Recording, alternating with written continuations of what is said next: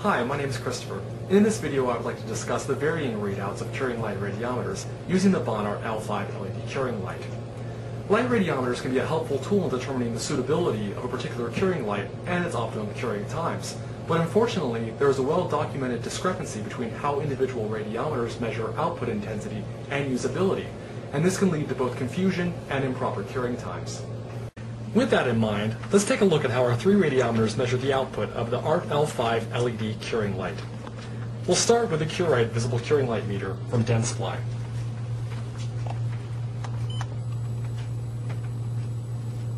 We have a power measurement of 1900 milliwatts per centimeter squared.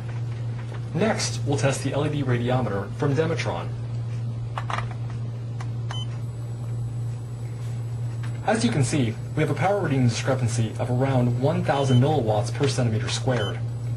While a reading of 800 is considered high output by this particular radiometer, it is a drastically different reading than what is provided by either the MARC system or the Dentsply unit.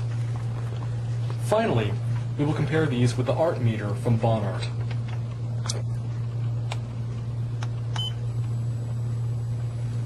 At 1600, this reading is closer to the Dentsply measurement, which in turn is close to the MARC readings given by Gordon Christensen. From this demonstration, we can see that measuring output on a radiometer is as much reliant on understanding the biases of the particular radiometer as it is the intensity of the curing light itself. While any drastic change in output readings over time could be a sign of light failure or degradation, it is important to understand and account for the inherent failings in current day radiometers and to adjust expectations and readings accordingly. Please feel free to contact a Bonart Medical Technology representative if you have any questions.